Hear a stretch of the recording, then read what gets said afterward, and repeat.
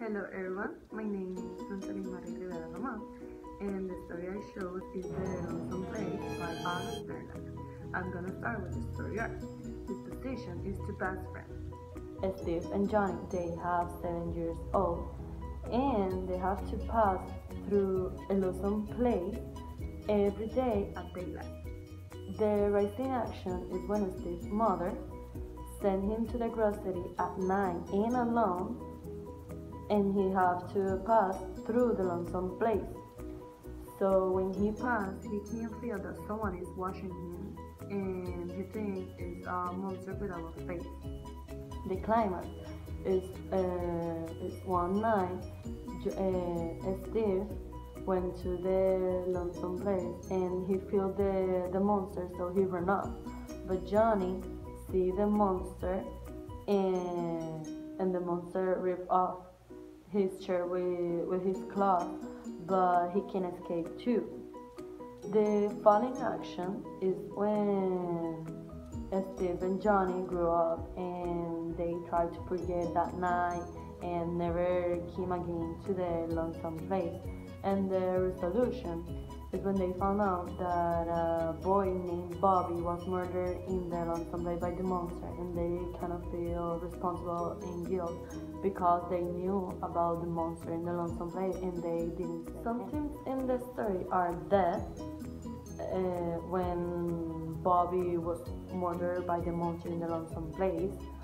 Uh, another theme is mystery when Steve went to the lonesome place and he can feel that someone is watching him, but he don't know who it is.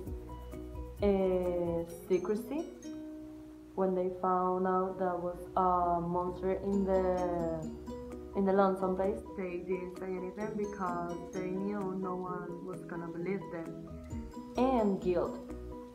That's when they found out the Bobby's death and he can feel responsible because they knew it was a monster in the lonesome place and they didn't say any two symbols. The lonesome place and the monster.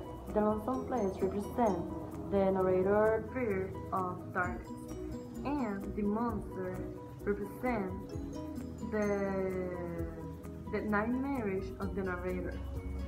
He is scared of dark and he creates a monster no, I'm gonna kind of summary the environment, the ambient, the setting, and some method of representation that is the other in the story.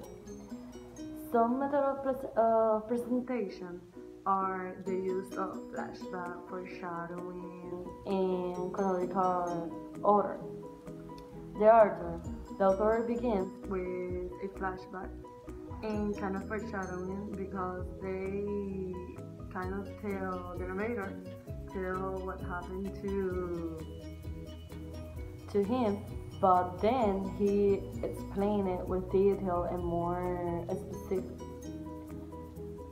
The story is very dramatic. It's really tense since the beginning to the end and it's kind of realistic too because it's a boy that have a fear of darkness of, of darkness. And he created a monster. Hello everyone have a fear. When it when he was little and was scared of monster and and ghosts and other things. Uh, the author don't specify the the the, the time and place I tell the story but the environment was a lonesome place, very isolated, very haunted, very creepy. All dark, no light, uh, surrounded of trees, and no human live there. And it's kind. of, The lonesome place is like between the rural zone in the small town, so you have to pass obligated to that lonesome place to get in the rural zone on in the small town. And the ambience is really tense, really suspenseful, it's very creepy, very it's also realistic. It's kind of wow. You are shocked all the all the story section about the the story. I'm gonna check about now. Uh, the story is really interesting. Uh, I love the way the author Agus present this story of a boy that have a fear of darkness and he kind of live a nightmarish. And because when I was little, I was scared of the cuckoo, and when I live in a field, so when my sometimes my mom at night send me to my grandmother's house, and I have to to walk in a in a dark place, and the the sounds it was so creepy that I was always running. get super scared. So when I read this story, I identify with the narrator Steve, and I can imagine all the the scenes like it was me who the author was talking about. although it was a gothic story and it's really creepy and really dark it Also a lesson to all of us because we all have fear but if you don't if you don't recognize it, you can't say to anyone who can help you. If you don't get over it and you can hurt other people that was happened to the narrator. He didn't say anything and they found that a boy was murdered by the ghost and hello it can be possible with a monster in there but very maybe it was uh, the boy because of his uh, his fear he he killed himself or something like that we don't know. So if you don't get over your fear you can just do things that that you can regret it and it can hurt other people other lesson that I really really love and it's something that today is happening is that par- parents don't listen to to their sons.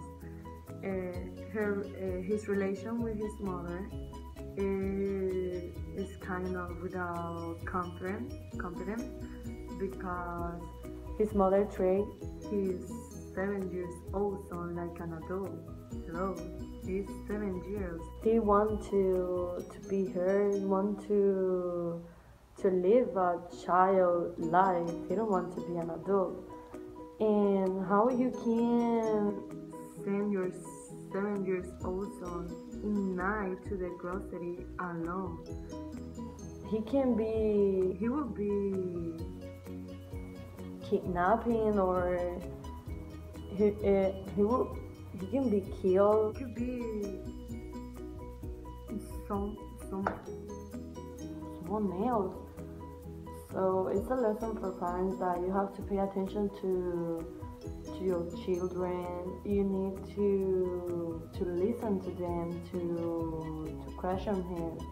If, if he's alright his feeling if he needs something that they know they have parents that love him and that love them and and care about them. So I really love the story. It, it was it was scary but but it was also cool because I cannot remember when what happened to me. So and it's really shocked because everyone have a fear when when it was little or or now grown up you have some insecurities, some fear. So you need to to to search help and find help and never never keep the fear with you.